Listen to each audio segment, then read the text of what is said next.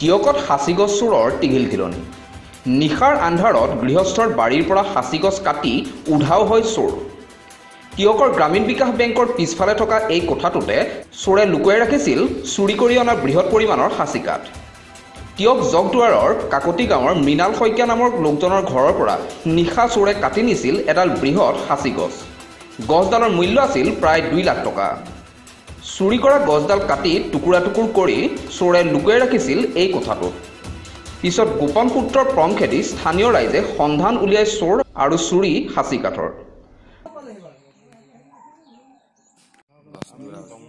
আনিছিলে? আৰু লগত কোন কোন আছিলে? আৰু তই কিমান দিনৰ পৰা কাটি আছ? কালিহে কাটিছে হা? আজি আনি পেলাই ইয়াতে সদায় ইয়াতে দিওঁ সদায় ইয়াত মানে মই সেইটো নাজানো। কালি ক'লে ক'লা গুটি কাটি আমি গ'ল।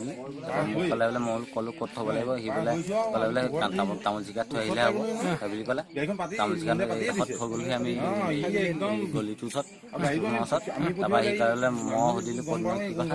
ক'লে বোলে হ'ব তই একো নাজান তই যাকে যা। ইয়াত থলি ন হৈ যাব। হাতে লোতে ধৰা পেলাই বাবু শইকীয়া আৰু সঞ্জয় গগৈ নামৰ দুটা চোৰ। অৱশ্যে পলাই যাবলৈ সক্ষম হয় দেৱজিৎ বৰুৱা নামৰ আনটো চোৰ। চুৰি কাঠসহ দুই ধৃত চোৰ সম্প্ৰতি টিয়ক আৰক্ষীৰ জিম্মাত। টিয়কৰ পৰা Nayanmoni Barua news twenty four north east.